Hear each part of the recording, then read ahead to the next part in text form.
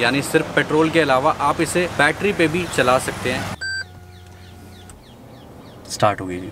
अब ये फ्यूल पे आ गई है लेकिन जब मैंने स्टार्ट करी थी इसे हाँ। तो पता ही नहीं चलता जी गाड़ी बिल्कुल साउंडलेस है.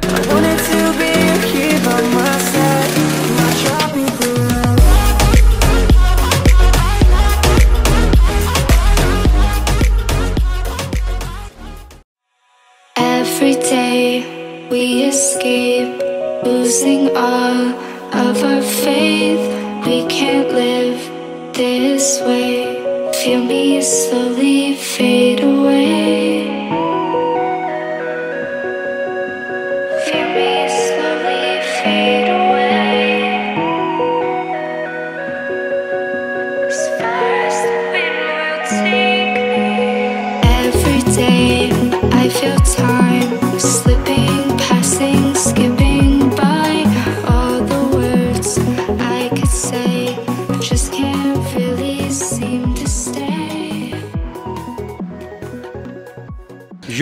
Everyone this is Irfan and welcome to my country माराइट तो दोस्तों, आपका बहुत बहुत स्वागत है माय कंट्री माराइट के एक और ब्लॉग में।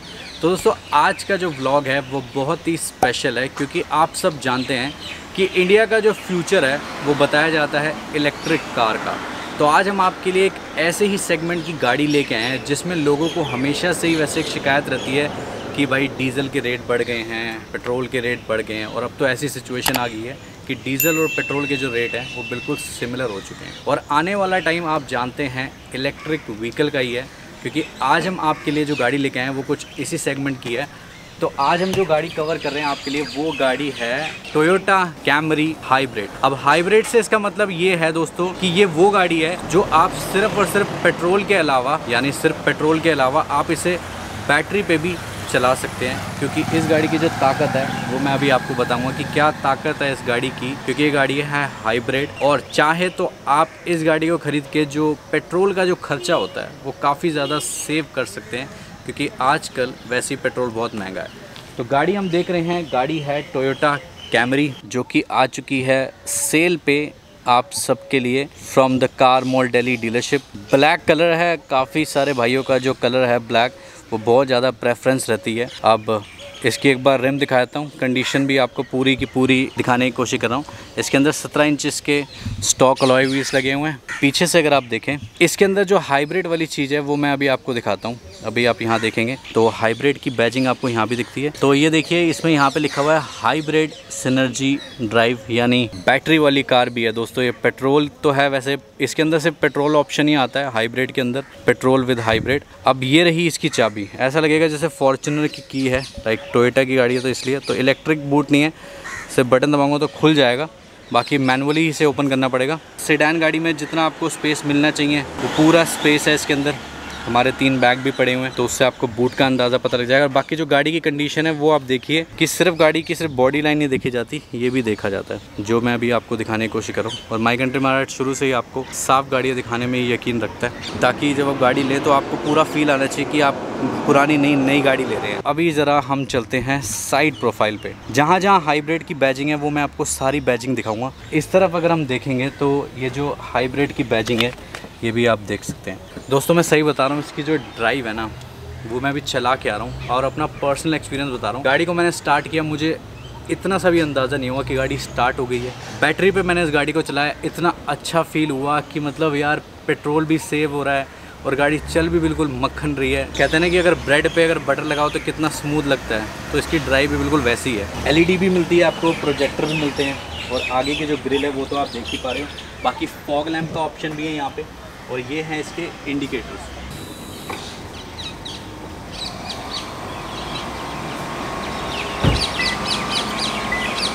अब दोस्तों, ये गाड़ी स्टार्ट है। अब आपको सही बताओ कि कुछ आवाज़ आई है नहीं आई, क्योंकि हमें तो कुछ भी आवाज़ नहीं आई। है लाइटें आपके सामने जल रही हैं, इसकी डीआरएस जो हैं, वो सामने जल रहे हैं, और गाड़ी अभी स्टार्ट हो चुकी है। तो ये तो आप देख रहे हैं इसे बाहर से। लेकिन जो असली मज़ा है ना इस गाड़ी का, वो आएगा अंदर से बैठ के देखने में। तो मैं लेके चलता हूँ आपको अंदर। इसके अंदर आपको लगता है कि शायद टोयोटा इतनी लग्जरी नहीं देगी बट इसके अंदर बहुत लग्जरी है दोस्तों, ये बहुत प्रीमियम कार है। अगर हम डोर की बात करें तो इसके अंदर आते हैं मैनुअल सनशेड जो कि आप यूज़ कर सकते हैं। जैसे मैनुअल है, और कंडीशन भी आप देखो कर्टन्स की। ये यहाँ पे इसकी एस्ट्रे का ऑप्शन मिल रहा है आपको। यहाँ पे विंडो की कंट्रोल है, और ये ऑटो डाउन और ऑटो अप है ये विंडो अब बैठता हूँ मैं इस गाड़ी के अंदर। तो अंदर से आप स्पेस देख पा रहे हैं इसका। तो अभी मैं आपको दिखाता हूँ एक और इंटरेस्टिंग चीज़ यहाँ पे। तो ये है वो इंटरेस्टिंग चीज़। बहुत सारे यहाँ पे कंट्रोल आपको दिए गए हैं। आप ये देख रहे हैं सपोर्ट के लिए आपको यहाँ पे ये भी दिया गया है। बाकी सबसे पहले बात करूँ इधर की तो इधर यहाँ पे अपने को क्या क्या मिल जाता है वो आप समझिए। सबसे पहले इसमें लिखा हुआ शेड तो शेड से क्या मतलब है? अभी आपको कुछ दिखाई नहीं दिया होगा तो अभी मैं दिखाता हूँ। पीछे शेड है। तो आप इसे यहाँ से कंट्रोल कर सकते हैं। वन क्लिक किया शेड कंट्रोल हो गया। इसको कंट्रोल करने के लिए यहाँ तो बटन दिया गया, आगे भी एक बटन दिया गया, वो भी मैं अभी आपको दिखाऊँगा। बाकी इसके अंदर three zone climate control AC है तो जो टेम्परेचर है, वो आप यहाँ से भी सेट कर सकते हैं। अगर मिस्टर व्यास करीब आएँगे तो आपको टेम्परेचर यहाँ पर दिखेगा। तो जैसे अगर मैं चाहूँ तो टेम्परेचर को बढ़ा भी सकता हूँ यहाँ से और कम भी कर सकता हूँ। तो इन बटन से क्या होगा? तो ये है बेसिकली वॉल्यूम अगर मुझे मीडिया कंट्रोल करना है मीडिया की वॉल्यूम तो सामने देखेंगे। Thirty thirty one, thirty two तो ये सारा वॉल्यूम कंट्रोल और ट्रैक कंट्रोल और चैनल कंट्रोल जो भी मीडिया के ऑपरेशन हैं, वो मैं यहाँ से कर सकता हूँ।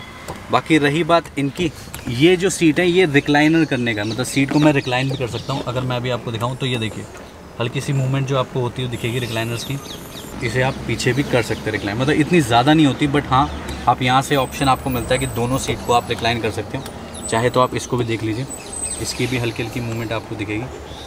कि कितनी रिक्लाइन होती है इसकी। देखने से लगता है कि शायद कैमरे में इतने फीचर नहीं होंगे, लेकिन जो कैमरी जो लोग रखते हैं, उनको पता है कैमरे के बारे में कि कैमरे कितनी लोडेड गाड़ी होती है। तो ये तो रही कुछ पीछे से इसकी स्पेस वाइज और फीचर वाइज बातें। एक आखिरी चीज़ जो यहाँ पे स्टोरेज है, वो मैं आपको दिखा रहा हूँ। अब बैठूँगा आगे ड्राइवर सीट पे और वहाँ करेंगे हम इसके असली मज़े, क्योंकि वहीं पे ही है जी इसकी असली ख़ास बात। तो आइए बैठते हैं इस गाड़ी पे आइए। ड्राइवर साइड पे बैठने से पहले आपको थोड़े से फीचर बता दूँ कैमरे के बारे में, जो गाड़ी सेल पे अवेलेबल है। यहाँ पे आपको वुडन फिनिश मिलती है। हर डोर पे आप वुडन फिनिश देख पा रहे हैं। यहाँ पे विंडो के सारे कंट्रोल हैं, ठीक है? Door lock unlock child lock यहाँ पे है मिरर और मेमोरी सीट्स और ये जो सीट है ड्राइवर साइड वाली सीट अगर हम बात करें तो ये ऑल इलेक्ट्रिकली एडजस्टेबल सीट्स हैं और ये वाली जो सीट है, ये वेंटिलेटेड सीट है, यानी परफोरेटेड सीट हैं। आप चाहें तो ठंडी और गर्म भी इन सीटों को कर सकते हैं। तो मैं बैठता हूँ इस गाड़ी के अंदर। तो अब हम बैठ गए इस गाड़ी के अंदर। अभी गाड़ी स्टार्ट नहीं है दोस्तों, मैं आपको बता दूँ। अब गाड़ी करते हैं स्टार्ट स्टार्ट हो गई कुछ भी फील नहीं हुआ। व्यास फील हुआ है क्या? भाई मुझे तो कुछ पता ही नहीं लगा यार स्टार्ट कब हो गई? है? एक बार देख ले दोबारा स्टार्ट है ना? अब ये फ्यूल पे आ गई है लेकिन जब मैंने स्टार्ट करी थी इसे हाँ। तो वैसे पेट्रोल इंजन है दोस्तों इसमें बिल्कुल भी साउंड नहीं है मतलब बैटरी पे भी मैं अभी हम चला के आपको दिखाएँगे बाकी अगर मैं बात करूँ एक लग्जरी के नाम पे अगर मुझे कोई चीज़ इसके अंदर लगती है कि भाई एक चीज़ नहीं है तो वो बस एक सनरूफ ही है जो इसके अंदर नहीं नहीं है। बाकी जो बड़ी बड़ी गाड़ियों में फीचर होते हैं जैसे वेंटिलेटेड सीट हो गई और रिक्लाइनर्स हो गए पीछे और Memory seats मेमोरी सीट्स हो गई और मतलब बहुत सारी चीज़ें हैं जो. एवरीथिंग इज़ देयर बट वो जो बैटरी वाली चीज़ है ना वो आपके बहुत ज़्यादा पैसे सेव कर सकती है क्योंकि जहाँ तक मुझे लग रहा है कि इसको आप सिर्फ़ बैटरी पे भी चला सकते हो जो मैं अभी ड्राइव करके आया हूँ। बाकी वो मैं अभी आपको दिखाता हूँ। इसके अंदर मैं आपको पहले बेसिक फीचर समझा देता हूँ। अगर बात करें इसके रिवर्स कैमरे की तो सबसे पहले मैं इस गाड़ी को, जैसे आप ये देख पा रहे हैं गियर लीवर तो मैं इसे ज़रा रिवर्स करता हूँ। तो इसका रिवर्स कैमरा भी आप देख सकते हैं। ठीक है, ये है इसका रिवर्स कैमरा दोबारा से इसे पी पे कर देता हूँ। तो इसके अंदर आपको बेसिकली मिलते हैं three zone climate control AC तो दो आगे की हो गई एक जोन पीछे का हो गया। बाकी इसके अंदर ईवी मोड का ऑप्शन यहाँ पे मिलता है इको मोड आपको मिलता है। और जो वेंटिलेटेड सीट्स का जो ऑप्शन है, वो आपको यहाँ पे मिलता है। अभी आप अपने हिसाब से टेम्परेचर को सेट कर सकते हैं। सीट के जो टेम्परेचर है, वो सेट हो जाएँगे। यहाँ से आपको हाई चाहिए लो चाहिए या बिल्कुल ही कम चाहिए तो वो आप यहाँ से ऑपरेट कर सकते हो। बाकी इसके अंदर इनबिल्ड नेविगेशन है। JBL का ऑडियो सिस्टम इसके अंदर आपको मिलता है।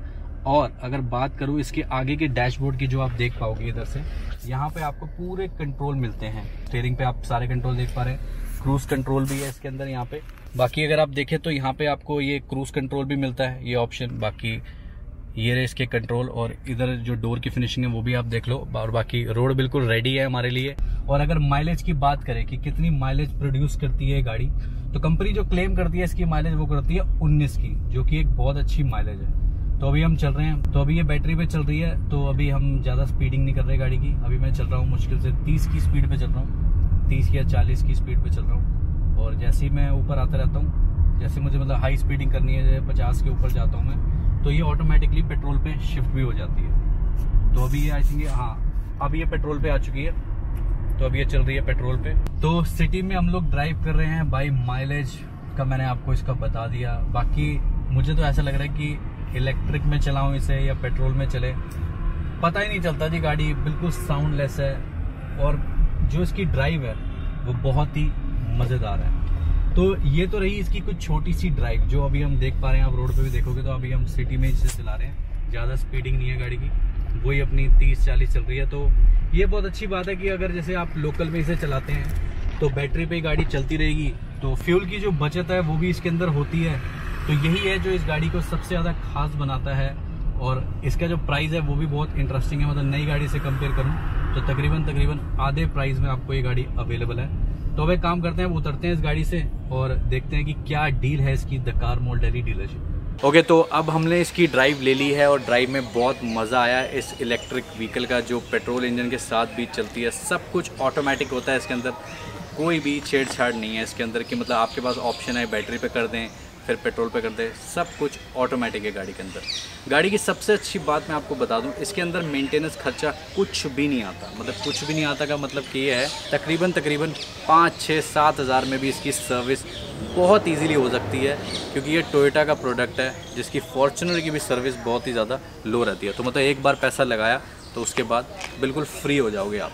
अब इसकी डिटेल बताता हूँ, ये है सन 2017 मॉडल और 17 ही रजिस्टर्ड है।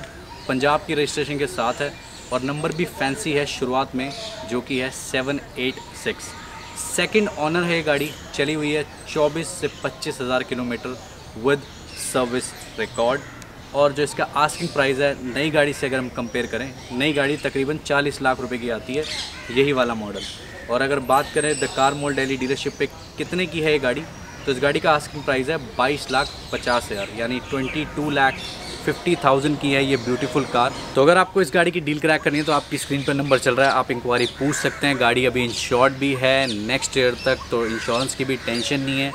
और अगर इसके अलावा भी कोई लग्जरी गाड़ी की इंक्वायरी करनी है तो उसके लिए भी ऑप्शन अवेलेबल है the Car Mall Delhi dealership पे। आप कांटेक्ट करके पूछ सकते हैं। और कमेंट सेक्शन में लिख के ज़रूर बताना कि कैसा लगा आज का आपको ये ब्लॉग और कैसी लगी गाड़ी। और हम आपसे मिलते रहेंगे नेक्स्ट वीडियो में। Till the time take care bye see you